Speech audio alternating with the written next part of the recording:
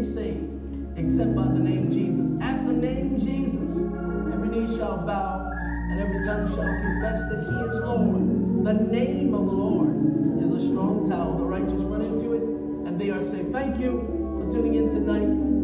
All of our ABLM members and friends and viewers, thank you so very much for joining us in the Midweek Connect. The Lord has been good to us down throughout this week thus far. He's brought us to the middle, the midweek point in the week, and we are grateful. We are appreciative for the Lord's provision, for the Lord's protection, for the Lord's power revealed to us uh, in the earth. We have so much to be grateful for, uh, so much that we're thankful unto God for. Uh, we're just thankful that, again, you have joined in, you've taken the time to hallow this moment and to be with us here in the Midweek Connect. Some of you may have, uh, at least the ABLM members, have received the text that one of our mothers in Zion has gone on to be with the Lord, Mother Elizabeth Curry, has transitioned, and even to some of our friends and viewers that may be aware, she's one of our long-standing members of our foundational church, the Truth Evangelistic Temple, and uh, faithful member to the church. And we are pleased that God has in his sovereignty with his wise counsel have chosen to remove her from uh, the walks of life in this earthly realm as we know it, has moved her on to the shores beyond this realm, the shores of heaven, the place and presence of God. So we're, we're uh, encouraged to know that she loved God with all of her heart. She loved her family. She loved her church family pastor and leadership. And so again, we inform everyone that she has transitioned to be with the Lord and more information will be forthcoming. Uh, but we thank God. We thank God because God, he does all things. He does all things well. He does all things well. We're going to get right into it tonight to the word of the Lord. Um, in Hebrews, that's where we're going tonight. Hebrews uh, chapter number 11 is where we will commence in reading.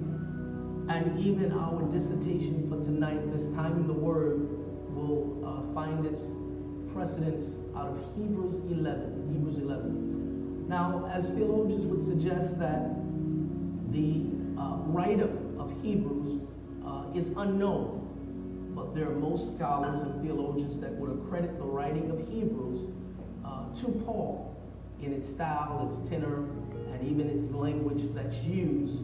Uh, it's accredited to be a Pauline epistle, though for certainty, again, scholars and theologians would suggest that the writer is unknown. Nonetheless, in its writing, we find that uh, there are three specific exhortations. There are three specific exhortations when you read throughout Hebrews, the 13 chapters in Hebrews. Uh, it is the exhortation first regarding doctrine. Doctrine. And that doctrine speaks of uh, the personhood and the work of Jesus Christ. In fact, when you read in chapters 1 through chapter 2, it talks about the uh, personhood and the work of Christ in its finality, its revelation, its, its unfolding, and its understanding. And then it begins to move into uh, the superior posture that Christ has in the sense where uh, it was the superior posture uh, over the angelic beings. As you read through chapters 2, even going into 3, and then even his superiority to Moses and Joshua as relate to the rest that chapters 3 and chapters 4 and even 4 going into uh, chapter 7 begins to talk about a rest and then we see where that there is, uh, as you as you lean more into chapter four, it talks about the Levitical priesthood and, and the superiority that Christ had in that sense over the priest. He becomes our high priest. And then you go uh, chapters uh, four into seven, and then eight right into chapter 10, and it begins to talk about the idea that the new covenant being a better system than the old. Better is used in the sense where uh, not to suggest that the old was not good, but better in the sense of perfect, complete. Christ comes in the volume of the book. He joins both the old and the new. There could be no testament without the testor, and that is Christ.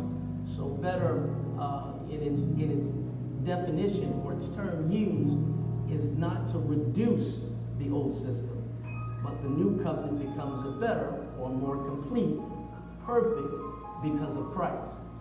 And you fast forward right through chapters 8 and 10, where you come to the place of where we are uh, tonight, commencing in our reading, chapter 11, which now talks about the exhortation, not just about doctrine and the personhood of Christ and the work of Christ and the work of the cross, but through examples, through examples. And so there are a list of examples that even some scholars would refer to chapter 11 of Hebrews being the uh, hall or the heroics of faith, the heroics of faith. And they are those examples in chapter 11. And then you move be beyond chapter 11, you deal with one more exhortation, and that is the exhortation to holiness in Hebrews chapter 12. In fact, it says in 12, 14, follow peace with all men. Holiness without no man shall see the Lord. And then there is the general salutation in chapter 13, where the different ones are thanked and recognized for their contribution. But those are the three, when you look at Hebrews in an overview or a, uh, an outline, if you had to structure the 13 chapters, there's an exhortation uh, to doctrine, concerning the work of Christ and the personhood, chapters 1 all the way through chapter 10. Then chapter 11 stands out by itself, where that there's an exhortation to the examples who have been role models, who have uh, blazed the trail, who has created a pattern that we can follow. We find them in chapter 11, and then the exhortation to holiness in chapter 12. So let's take a look at it here. We're going to skip all the way down to verses number uh, 13 through 16 because we will extract our focus thought from verses 13 through 16 of Hebrews chapter number 11. Hebrews chapter number 11.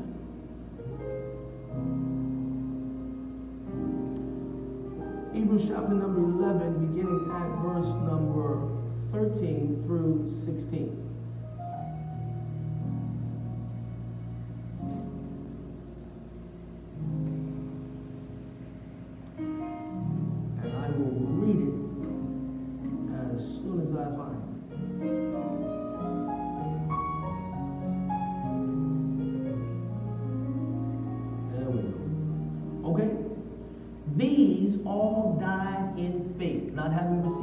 Promises, but having seen them afar off, and were persuaded of them, and embraced them, and confessed that they were uh, strangers and pilgrims on the earth. For they that say such things declare plainly that they seek a country.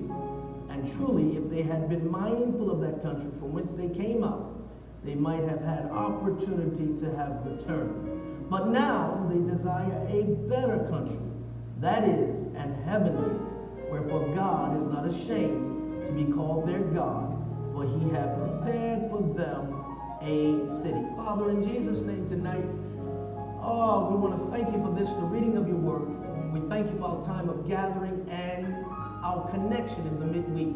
Bless as we receive this word that we might live by it. In Jesus' name, amen. Thank God. I want to, uh, for our subject matter tonight, magnify the first clause of verse number 13 out of Hebrews 11, and it reads, These all died in faith. That's our subject matter. These all died in faith. These all died in faith. I was listening to the news uh, just today, and uh, it's certainly a tragedy, and, and our hearts do mourn, and, and we pray, and, and, and we're sorrowful. And even as I make reference to this uh, staggering number that's increasing itself daily as related to the pandemic of, uh, that this country and even beyond its shores have been affected by, but a death toll of some uh, over 200,000 people is just daunting. It's, it's, it's unimaginable. It's, it's hard to just wrap your head around those numbers to know that uh, this pandemic and this, and this crisis have taken the lives of so many, uh, some of which that we've even known and have had relationship. And those of you that are watching and we're praying for you, perhaps family members and loved ones and, and extended family. You know, I make reference to that number and even the report that I heard uh, because you could almost become numb if, if you're not careful to your surroundings and the circumstance of your day and its time. Uh, because if circumstance around you does not change uh, and it continues to linger and progress and carry on, you, you, you sort of become accustomed to hearing know, the reports, again, progressively, the numbers uh, increasing and the reports progressively getting worse. And, and you develop this whole feeling of, of trying to almost block out and, and tune out, yet it still, it still exists. And if tonight, though this might be a, a morbid subject, it might be a trying subject, but, but it is a necessary subject as I'm led of the Lord to talk with you tonight and, and to minister out of this text. If, if we were to consider tonight uh, this subject matter. These all died in faith. As I was uh, reading and preparing to minister this word tonight, I begin to think about those numbers that I just quoted and, and ask myself, I wonder how many of those individuals have the testimony of this written word that these all died in faith. A baby is born into the world, as there are mothers who are watching that are expecting, and even mothers who have given birth. It's, it's an exciting time in a family. You know, the addition, the expansion, the, the reproducing of life, and, and you're making all the preparations necessary to uh, make the arrival of that, that new life, uh, that precious new life. You're doing everything you can to make sure uh, that uh, things are in place and, and uh, there's space and there's room and there are clothing items and and all those different uh, things that we do to make sure that the arrival of that baby is not only safe, uh, but we want to treat that life uh, with dignity and respect and make sure that we provide for it. We do. Then that life begins to grow and develop and goes through its different stages of infancy and that of a toddler and then that of an adolescent and teenager and, and, and then a young adult and, and an adult and, and live long enough to become a senior in life life goes through its phases. And if tonight, as I alluded to say a minute ago, you had the challenge of writing your own obituary, of looking at your own life, of, of, of writing the tale of your life, scripting it, what would it say at the end of it? What would it say? What would it say? You know, as a preacher, a minister of the gospel, and even a pastor, having had to eulogize so many uh, individuals over the course of my ministry over 20 years, 25 years of preaching. Uh, I've seen time and time again where that in the obituary read, uh, it starts out after uh, depicting the origin, place location of birth, and, and to whom the deceased was born to, and talks about and gives credence to their uh, schooling and uh, job and Eventually, it moves into uh, the area as to whether or not they ever committed their life to Jesus Christ, as to whether or not they ever joined a church, were they ever part of a uh, religious reformation. And so it goes into that part. And, uh, you know, there are some uh, that you read that at a young age, they committed their life to Christ. At a young age, they joined this church.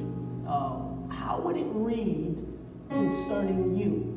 How would your life read? How, how would your obituary read? How would the celebration of life read? When we read here concerning, as we will call out at least four of them tonight in Hebrews chapter 11, it says that these all died in faith. Because there are some people who they start out good, but they don't always finish good. There are some people who uh, you can remember at one point in their life, they made a commitment, they, they became a member of a church, and they stray away.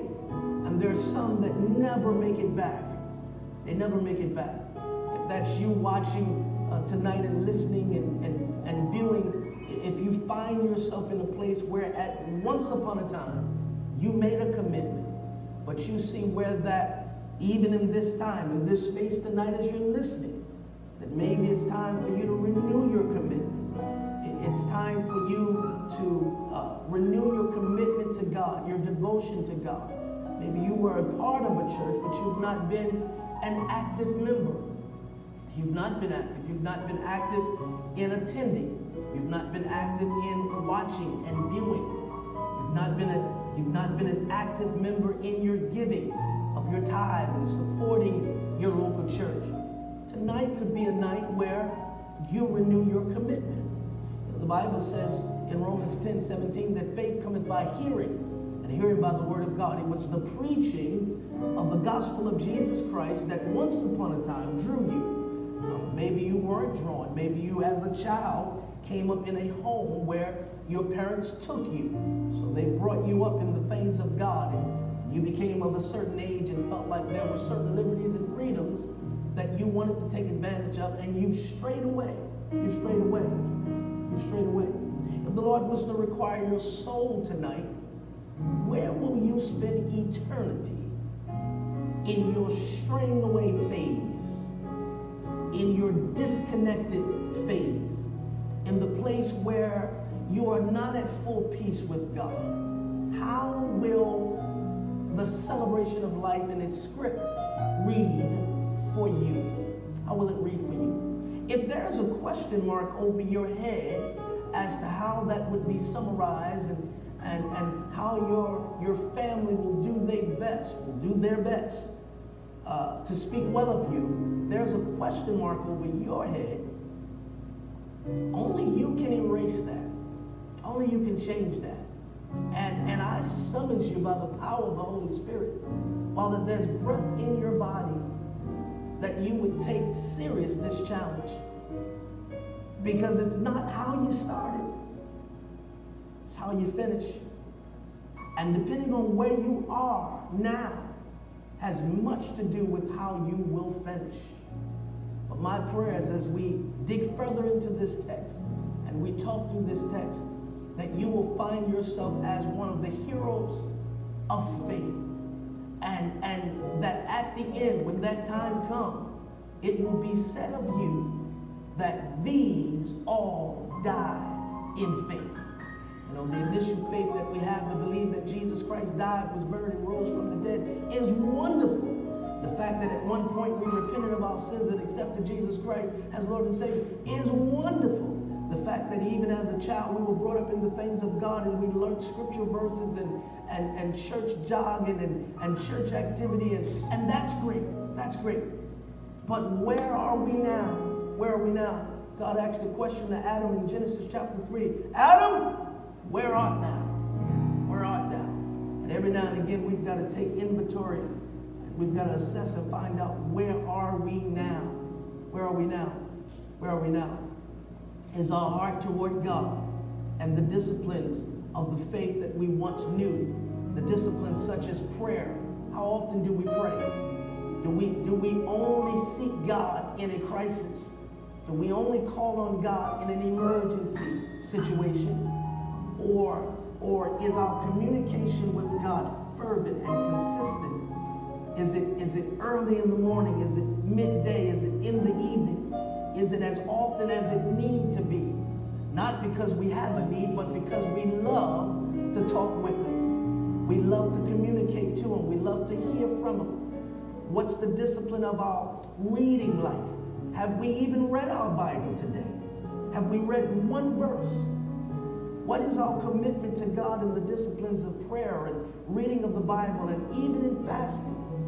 When we're frustrated and aggravated and angry and, and find ourselves acting in ways that displease God, do we check ourselves? The Bible says in 1 Corinthians 11, but let a man examine himself, judge yourself, deal with yourself, get yourself together. If you had to measure your prayer life. You had to measure, you had to measure your fasting. You had to measure the reading of God's word, the support toward the house of God, the disciplines that we once knew we once practiced. Where are we now? Where, where, where do they, or how much value do they hold in our life? It's a question that only, that only you can answer. When we look here in Hebrews chapter 11, verse number 1, it says, Now faith is the substance of things hoped for. It is the evidence of things not seen. So faith had to be described. It would be described as what becomes tangible to the things that we expect, we anticipate. It becomes the, the evidence, the factual proof of things not seen. So it's what's in the invisible that becomes, even in the natural, manifested only by our belief in God's word, in God for who He is, in what He has said. It takes what's invisible and manifest it. It brings it to the natural. From the supernatural to the natural, it appears by our belief in God, our trust in Him. And not only our trust in Him, but according to Mark 11 23, even our confession. Even our confession. I was, I was thinking today as I was moving and, and, and, and going to and fro that it is our confession that changes circumstance, the circumstance around us. That's right, what you have to say concerning it. That's why you got to be very, very careful what you say about where you are and, and the circumstance around you. Because there's power, according to Proverbs 18:21, in your tongue, in the spoken word. So now faith is the substance of things hoped for. It is the evidence of things not seen. So faith becomes the bridge between what you're expecting to happen and where you are right now. Faith becomes the bridge. It becomes the link. And so what happens is you ask God for healing.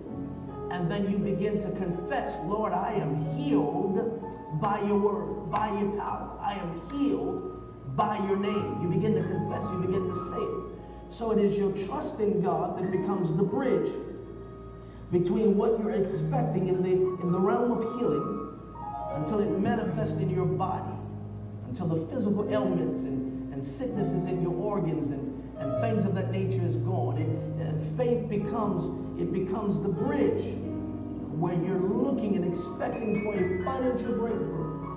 And you're, you're believing and you're confessing and you're reading God's word and you're uh, regurgitating the word and calling back the word and, and speaking into the atmosphere. And It is your trust in God that becomes the bridge between what you are expecting and its manifestation. And faith now is. So faith does not wait for it to be seen in the natural, for it to be seen in the spirit. Faith does not wait for it to appear in the natural, for it to be spoken in the spirit. You've got to speak it first. You've got to see it in the spirit first, speak it into the atmosphere, then it appears according to your faith. Many miracles that Jesus, when you read throughout the New Testament and the Synoptic Gospels, Matthew, Mark, and Luke, and even John, many miracles that Christ performed, uh, it was as a result of the faith of the one seeking that he granted them their requests, even according to your faith. We go into verse number two of Hebrews 11. Now faith is the substance of things hoped for, is the evidence of things not seen. For by it the elders obtained a good report. The elders, those that were seasoned, those that have come before us, as even the scriptures mention, they received a good report. There were good things said about them, but only because they had faith. And it says uh, in verse number three, through faith we understand that the world was framed by the word of God. Nothing that exists exists except God spoken. The worlds were framed by the word of God. Here's our first example tonight. These all died in faith, verse number 13. It said in verse number 4 that Abel, he offered up a more acceptable offering than Cain. It was accepted by God, but not just because Abel offered it up. It was by faith that he offered it up. And so he makes the list that verse number 13 talks about, from where again we extract our subject matter. He makes the list. And the first point that I that I leave with you is while you're traveling through, make a contribution. Make a contribution. Says that Abel offered up an acceptable offering. See, when your contribution is acceptable to God, when your contribution through life has impact on others, like a teacher that teaches a student, or a coach that mentors a player, or a trainer and a trainee, and, or a parent and a child, a grandparent and a grandchild, a husband to his, to his wife, or a wife to her husband, and, and, and, and these roles, they differ, or even a great employee. Every now and again, the jobs will recognize Employee of the Month. That is to suggest that somebody's made a contribution. Somebody has gone above and beyond. Somebody has, has done something worthy of recognition. They've made a contribution. They have had an impact. Where it is uh, over in Genesis chapter number 30, Laban says in verse number 27 to Jacob, I just want you to know that before you depart from me, before you leave, Have learned by experience that I am blessed because of your sake. And uh, we talked about the idea of impressionable impact. When your life has such significance that your appearing into a room makes the difference that your voice on the other end of the phone brings calm and peace. I, I can't tell you how many times that there have been uh, those members in crisis situation, the trauma of losing a loved one, the, the, the trauma of having a mental meltdown, uh, the trauma of emotional turmoil. And God used me as their pastor and leader, as an anointed vessel, to just show up, and peace came to their storm sometimes to just walk by them. There are those that have testified, came back, said, when you walk by, man of God, I was healed. I was healed. It is, it is, it is, it is something about you and the grace of God upon you that God will use your life in such a way that like Abel, you can make the list in point number one by making a contribution. Making a contribution. What is your contribution? What is your impact? What, what, what do you have to show? By the time you get to the end of your life, you want, you want to be able to say, like the writer said, that these died in faith. Abel, by faith, offered an acceptable offering to God. He made a contribution. And I challenge you tonight to make a contribution. Make a contribution to the next generation. Make a contribution to those that are around you. Don't always look for their help. Be of help. Be of assistance. Don't always look for someone to call and reach out to you. You call. You reach out. You just never know the difference that that call or that text or even being led. There are times I'm just led by God to pray in an instance for you, ABLM, different members. The Lord places you upon my heart. Sometimes I text you and give you what thus saith the Lord. The Lord deals with me in that way. What am I doing? As I'm obedient to God, as I'm offering my life to Him, that it would be an acceptable sacrifice. He blesses me to make a contribution to somebody else. This is how you join the list. This is how you become a part of the uh, category of these all dying in faith. Not only do we have Abel, but as we move on in point number two, the Bible says that uh, Enoch, he walked with God and he did not see death. He was translated, he was changed. He walked with God until he existed no more in the earthly realm. But he didn't see death. He was caught up, he was translated, changed. But at the end, it says, because he pleased God. He had a testimony that pleased God. Let me tell you how you become part of the category of these who die in faith. Not only do you make a contribution in life, having impact, allowing God to use your life, but you testify until it please God. You testify until it please God. And I'm not just referencing the testimony that we think as we used to have in what we call uh, coming up in the church, devotional services where we give an honor to God and to the leadership and to all the dignitaries and everyone that's important, and we begin to tell of God's goodness. That is true. That is necessary.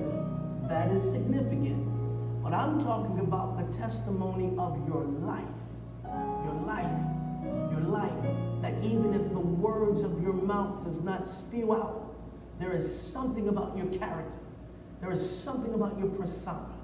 There is something about your behavior that glorifies God, that cause somebody else looking in the shadows to think to themselves, why are they always so happy? Why is she always so bubbly? Why is he always calm? Whatever that is that causes somebody else to look at you in observation, that brings glory back to God, because if it had not been for the Lord who was on your side, you know, there are times where people will ask you, what is it about you? Now, the door opens, and you can begin to share your faith. And that is, it's because of the grace of God in my life. It's the goodness of God. It's no goodness of my own. You begin to share of who Jesus Christ is in your life and what he's done for your life. It is a testimony that pleases God. You don't get a testimony until you've been tested. That's why you have hardship. That's why you have trouble. That's why you have tribulation. That's why you go through things that sometimes you're wondering why. It's not always because of you, but it's because of somebody that's close to you and connected to you that need to hear from you, and they don't need your sympathy. Where you say, I can only imagine what you're going through. Sometimes they need your empathy. You need to be able to feel what other people are feeling. And so sometimes God will allow you to go through. But James says, Count it all joy in chapter 1 and verse 2 when you find yourself in diverse temptation. Trouble on this side, trouble on that side. Count it all joy. And in the midst of that, have a testimony that pleases God. That's right, Enoch had a testimony that pleased God. Testify until God is pleased. Live your life. Later for living a life to please those that you can't please. Don't care how much you change your hair, how long you grow it, how short you cut it, what color you dye it. They are never pleased. Later for them. Let me say it one more time. Later for them. Live your life until God is pleased. Testify through your life until God is pleased. We used to have a sign in the sanctuary when I was a kid growing up in the church that you can preach a better sermon with your life than with your lips. Let your life please God. Ask Him, Lord, what path will you have me to take? Who will you have me to speak to today? Rather than getting up in the morning and dreading to go in here to work or dreading to get online or dreading to do whatever it is you have to do, Lord, thank you for this day. Ah, thank you for your faithfulness. Thank you for your strength. Thank you for your grace. Now use me today to impact somebody. Let my life speak volumes of your faithfulness to it, of your mercy to it, of your love to it, of your forgiveness to it.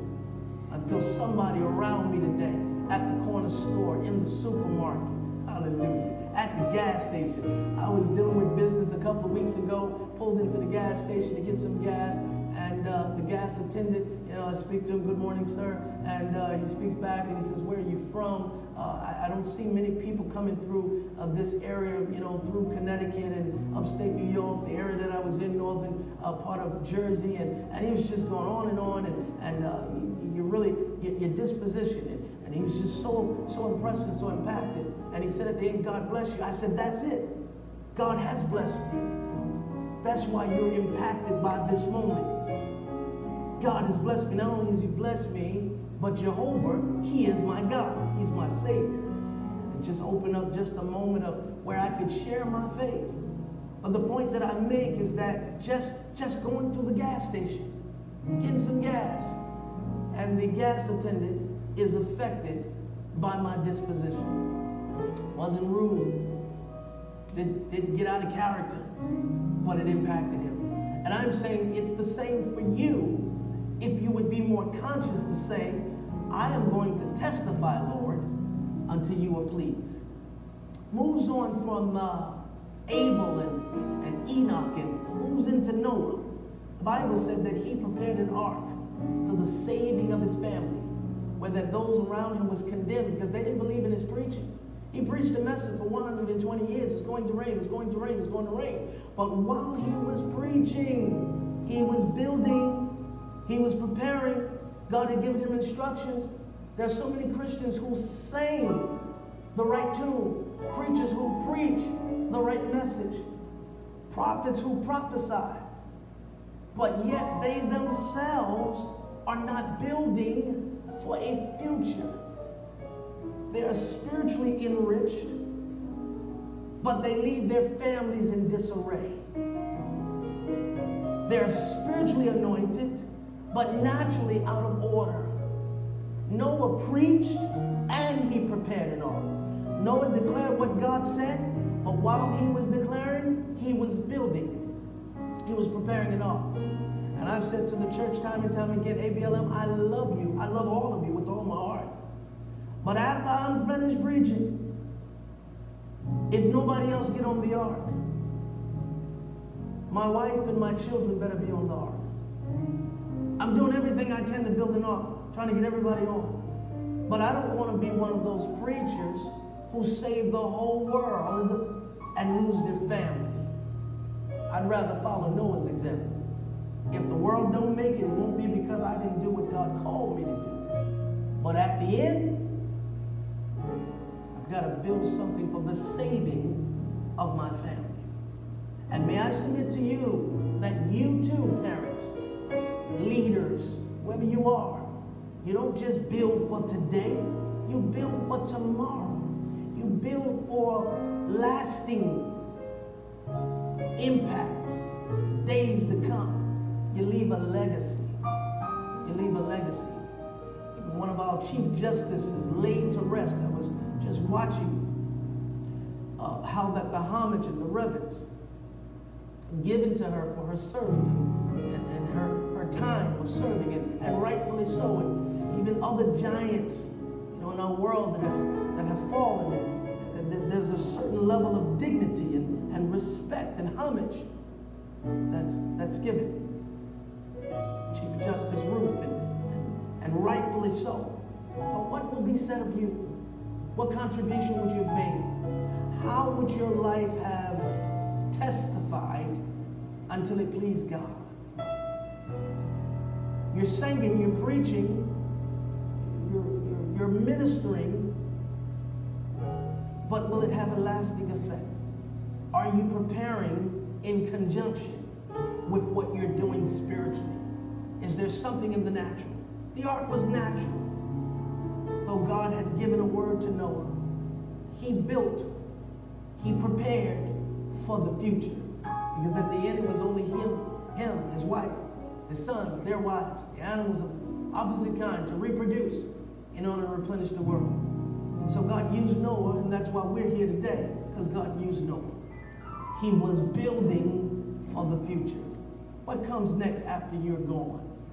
What happens to your children? What happens to your grandchildren? What happens to your loved ones? Will you have the testimony like verse 13, these all died in faith? Or will it read, once upon a time you gave your heart to Jesus? Once upon a time you joined the church? Or, or, or will, it, will it suggest that, no, you served God all of your days, all the way through, all the way through. We move into our last example tonight, which is Abraham. We talked about Abel, we talked about Enoch, we talked about Noah, as the scripture does. And then it mentions Abraham that Abraham believed God so much that he left from his familiar ground and went into a place that he had no idea where he was going until the Lord showed him. And then the Lord began to speak to him to say, I'm going to give you a seed, and from that seed, it will be innumerable it will be unmeasurable. As the sea and the shore and the stars in the sky, you won't be able to number. And here God spoke this word to a man that was old, and his wife was old, and her womb considered dead, but yet God spoke to him. And Abraham believed God till he looked for cities, the Bible said, uh, whose foundations, uh, uh, whose builder and maker was God. He looked for it. He, he expected it. He had faith in God. He expected to see what God had said. It was his faith. It was his faith that brought about Isaac.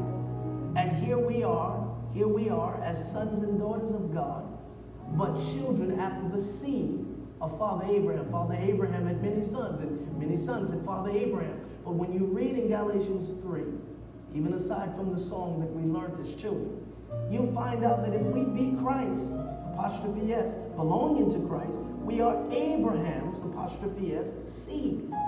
Which means we have this spiritual inheritance and the entitlement of the promise that God made to Abraham because, because we are tied to the promise through Jesus Christ. But that means nothing if you don't have faith to accept it, if you don't have faith to believe it. And it's not just faith now to accept it, it's, it's, it's, it's living by faith, walking by faith, talking by faith, and then at some point, my friend, you and I will die, dying in faith. May I submit to you that a lot of your a lot of your problems and a lot of your pressure. Let me give you the fourth point first. A spiritual inheritance. A spiritual inheritance. These all died in faith. They made a contribution. They had a testimony that pleased God. They were building for a future that even they themselves would not be a part of. Nonetheless, they kept on building. They kept preparing until ultimately they left a spiritual inheritance. It wasn't just Abraham and Sarah, but his seed was blessed. Isaac, Jacob, Joseph.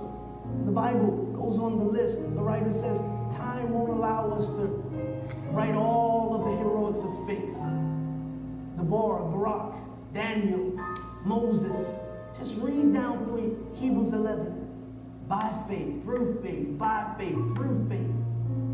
It's what caused them to navigate through the tough seasons of their life. Said that Moses, uh, rather than enjoy the pleasures of, of, of sin, he chose to suffer with the people, esteeming the reproach of Christ, rather than enjoying the pleasures of Egypt. I want to tell you tonight, you can make it. You can endure. You will endure. You, you will make it. You will be a part if you make up in your mind that for God I live, for God I die. When you, when you look at the whole idea of spiritual inheritance, I can remember, I can remember, my God, when my, my grandmother, the spiritual matriarch of our, of our family, had come to a point where she had gotten tired in her body and she's and she's and she was sickly for some time and had gone into the hospital and there was one of the members of the church that was sitting by her bedside and she looked over at the member and said, uh, why am I here? I'm, I'm, I'm ready to go home. And you know, the member of the church at the time was talking with her and the member actually thought that uh, she meant her natural home in this earth. But, but it wasn't minutes later that, she had gone into cardiac arrest and, and, and we found out later that she was talking about her home in heaven. Just like here, these died in faith, looking for a better country, looking for a city that God has prepared. We don't, we don't sing much of the songs we used to sing, talking about heaven, talking about the realm of the eternal talking about the paradise. We don't, we don't sing those songs like we used to, but we used to sing songs like, if you live right, heaven belongs to you. If you walk upright, heaven belongs to you. We used to sing songs like, it's the highway to heaven. None can walk up there but the pure in heart. We used to sing songs like, the windows of heaven are open. The fire is falling tonight.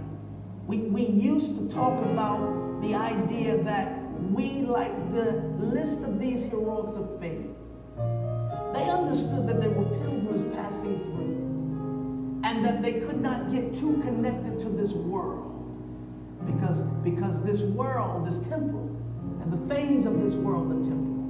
But there is an eternal rest.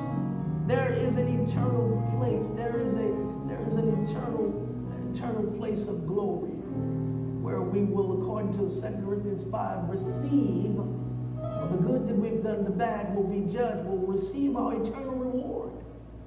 These all die in faith. What spiritual inheritance will you leave behind? What spiritual inheritance will you leave behind? As we celebrate and remember the life of even our mother Elizabeth Curry, who have transitioned, gone on to be with the Lord. The time will come when we will meet with her family and celebrate in some fashion that of a homegoing, as we call it. But she left a spiritual inheritance. Oh, she left a model that we can follow. She's outlived so many. Her faith in God, her walk with God, her relationship with God as a spiritual inheritance. Lord, I, I, I can just think of those that were instrumental in my life as a kid coming up. I just talked about my grandmother, spiritual matriarch, led her family to the Lord. My mother, result, I'm serving God. I, I can talk about the likes of my predecessor, the late Bishop Dr. James Thompson. God used that man to preach and hurl the truth of the gospel of Jesus to what was called the Truth Evangelistic Temple, that souls came and were saved and baptized in the Holy Ghost. And here we have a school today because a man that had a vision to evangelize the world while educating made a contribution. The likes of others that, that have gone on and have worked with him, like Mother Elizabeth Curry, like Sister Sarah Watkins and Sister Carrie Robinson and Mother Bobby Robinson and Mother Catherine Smith and Lord have mercy, so many that have come through that have left a spiritual inheritance. Elder Franklin and Mother Franklin so many, so many. The late Bishop Richard Green talking about a spiritual inheritance. Those that impacted, those that made contributions. Going back to the Cornerstone Church and Bishop Grady Dale.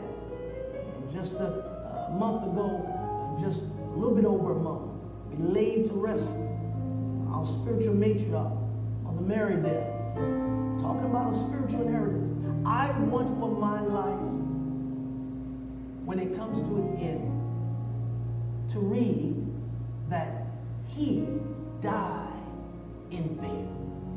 The faith, as the scripture says, not having received all the promises, but, but they were persuaded that the promises were true, and they embraced them by faith.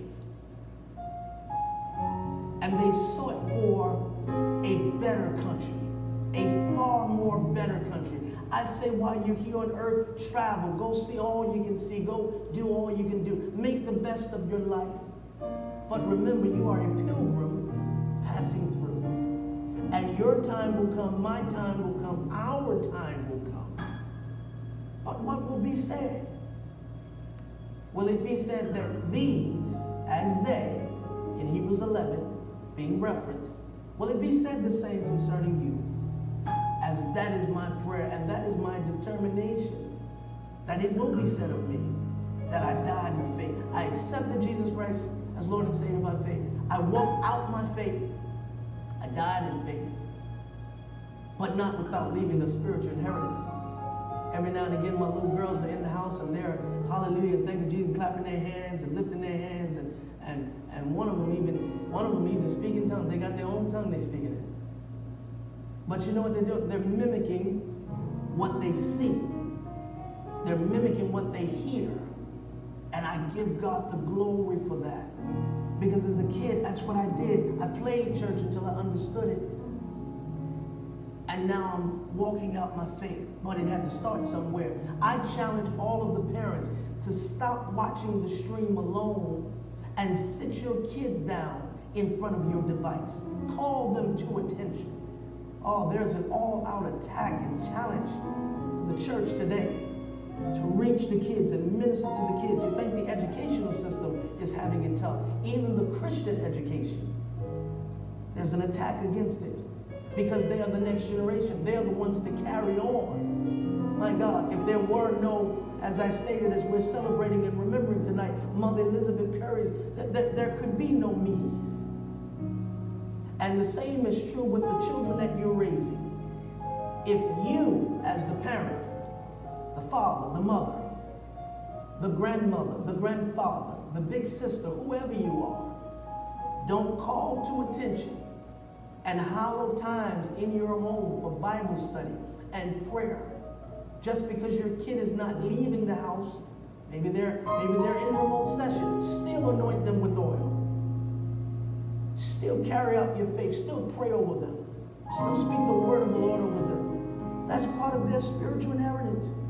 They can't give back or or recall or regurgitate what has not been poured into them. There must be a seed, there, there must be a deposit. And I am summoning every parent of A Better Life Ministry to make sure that your child is participating with the key kids, participating with the plug ministry if they're teenagers in high school, and even our young adult ministry, college students. I check on our college students. I'm reaching out to them. I'm praying for them. You know what? Because they have a soul and they are not only, we talk about the prosperity of ministry and life, but what about posterity? There must be somebody that carries on legacy. There must be somebody, as we're building, that will, that will take the torch and succeed and run on. That does not happen until you make a contribution, until you have a testimony that pleases God, until you build for a future and ultimately leave a spiritual inheritance. There are times as I close and get ready to pray that I make it to the bedside of those of, who die in faith as they transition I was getting an update from Mother Lynette Williams, even concerning Mother Sally Adams, and you know, update me and say some things to me. And I knew which questions to ask because I have stood a many of times around the bedside of those that right before they get ready to transition, before they take their last breath, I know the stare that they that they give on where you think that they're looking at you, but at some point, like like these who die in faith, they begin to stare beyond you. Hallelujah. It's, it's as if that they're already looking into the next country. Sometimes they become very silent. They, they stop talking. They're not saying anything. Eyes focus. It's as if that they are like these who die in faith. They're looking, looking for the promise of the ultimate, the eternal rest. I've seen and witnessed those moments stood by families and prayed them through the time of transition. Sometimes they begin in their last words to call out for people who've already gone on. And I want to say to you that your time will come, my time will come. I'm not spooking you out. I'm just reminding you that we are pilgrims passing through. I was reading a book today concerning a preacher who had wrote concerning the man who had died, 2 Kings 4, left his widow and two sons. The creditors were coming to take her two sons. The preacher became curious and asked God, well, I've done my study, but I, I, have never found the age of this man. And So he asked God, he says, I'll, I'll ask you, Lord, since you were there when he died. How old was he when he died? And he said that the Lord answered him back and said, old enough to die In other words, the Lord didn't give him a number in the sense of an age, but he said the man was old enough to die. I want to say to you tonight that you are old enough to die. But when you die, how will it read in your obituary? How will it read during your celebratory of life and, the script? Will it read like this subject matter of these heroics of faith? These all die in faith. God, we love you tonight, and we thank you. You do all things well. You're marvelous. You're glorious. You're majestic. You're powerful. Hallelujah. And we say thank you for this time in your word. In the middle of the week, you've caused us to pause this sobering discourse tonight to be reminded that we are pilgrims passing through we are to wear this world as a loose garment. We are to take every day and make the best of it, but not just for ourselves. We are to make a contribution. We are to have a testimony until it pleases you. We are supposed to build while we're singing and while we're ministering and while we're teaching. We're supposed to build for the future until we leave a spiritual inheritance. So that at the end it can say, These all died in faith. If you have never received Jesus Christ as Lord and Savior, do that right now. Don't let this moment pass. Don't let it be said, when I was a kid, I went to Sunday school, I went to church. That's not enough to save you. Salvation is saved, being saved, and shall be saved. Backslider, come back home. Recommit yourself, recommit your life, renew your mind, renew your faith. Do it tonight. Do it tonight. Do it tonight. So that your testimony can be these all died in faith. There's a fight for your faith. Fight for your faith. You thought the enemy was after your money, he's after your faith. You thought the enemy was after your marriage, he's after your faith. You thought he was after your children, he's after your faith. That's why Jesus says to Simon, I prayed for you that your faith would fail not. Maybe there's somebody you want to join this church. You've been watching and listening and liking and sharing, and, and you're blessed by this ministry. Come on and be a partner. Come on and be a member. You can do it remotely from where you are. Go to our website, ablm1.org, link member or partner, and we'll make the appropriate connections and we'll receive you in. We'll receive you in. You don't want it to be said at the end. We don't know, we don't know, we don't know what church they belong to. We don't know who their pastor is. No. You want to make your election sure as relate to your eternal rest and even your church home, having a place that you can call home family and a pastor. And I'd love to be that to you. I'd love to be that to you. This is our prayer tonight. This is our appeal. We trust that you were blessed. Now, I'm asking that all of the members, all of the members, would honor the Lord in your giving. First, we honor the Lord with the tithe. Then, we give God an offering. We give God an offering. Some of you tune me out. You don't pay me no mind. But obedience is better than sacrifice. And I challenge you to offer up unto the Lord now in the moment a gift that says, Lord, I thank you. Lord, I appreciate you for your goodness, for your provision. In the middle of the week, we, we ask for the members to sanctify, set it aside, make it special. $20 and offer it up to the Lord. And so I'm asking that all of the members would do that, all of the leaders, even our friends and viewers. You were blessed. Sow back into the ministry that has blessed you tonight. I'm going to do mine. I'm not going to ask you to do what I'm not willing to do. Join in together. Do it now. Let's honor the Lord in our giving. We believe here at a Better Life Ministry that the key to life is a better.